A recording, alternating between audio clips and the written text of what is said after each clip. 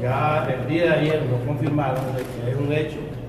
es un hecho eh, que se va a realizar el partido. Nosotros ya firmamos, firmamos un contrato que se lo enviamos, se lo enviamos a, a Argentina,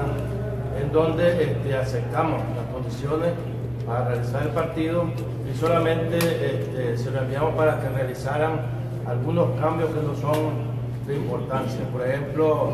en el, en el, este, se hablaba de que, de que nos iban a dar estadía por tres días, nosotros le, dijimos que, era- que eran tres o cuatro días. Hablaba de que de, peso, de peso, nosotros le dijimos que, que fuera en dólares. O sea, situaciones que las cuales que no hacen variar lo que es en sí el- el partido. Queremos manifestarle este partido se, da, se va a hacer este, realidad este, debido a que la, la selección de Argentina tenía un partido contra Bolivia, este partido se cayó, no sabemos por qué razones, y este, torneo de competencia, que es la, la- la que tiene los derechos para los partidos de Argentina,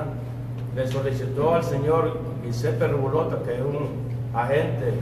un exjugador de fútbol italiano que jugó mucho tiempo en Argentina, que consiguiera un partido con una selección de Centroamérica. Eh, el señor Giuseppe Rubulota se puso en contacto con un agente que tiene él en Panamá, que se llama Rosendo Lorenzo,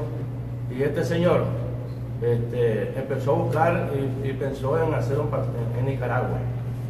Este señor fue este, gerente de un equipo de primera división en Panamá y tenía referencia en Nicaragua solamente a través de, de Helmut,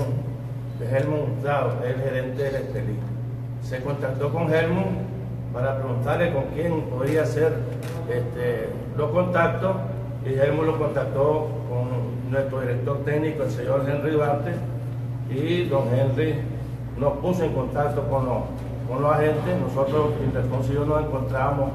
eh, en, en la cumbre ejecutiva de Perú con el presidente de FIFA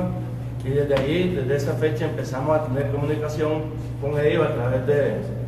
a través de, chat, a través de correo, a través de, llamadas y empezamos a realizar esas negociaciones. Y este, aprovechamos la ocasión para aquí para con ustedes para pedirle disculpas si no le dimos la, la- la noticia en, en el momento que comenzamos porque había un compromiso de no dar a conocer eh, nada de lo que estábamos realizando sino hasta que ya estuvieran las cosas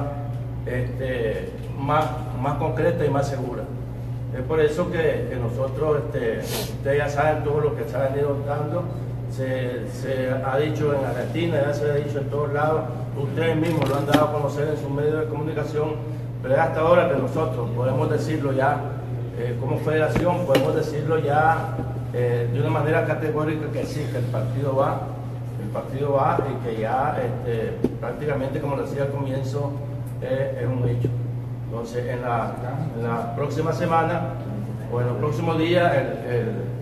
este, nuestro director técnico, el señor Henry Duarte, va a dar a conocer quiénes son los convocados. El partido sería el 29 de mayo en Argentina, nosotros estaríamos saliendo de aquí el 26 y regresaríamos el 30. Eh, todavía este, no tenemos la hora del partido, solamente sabemos que, se va a hacer en la bombonera, pero no tenemos la hora definida.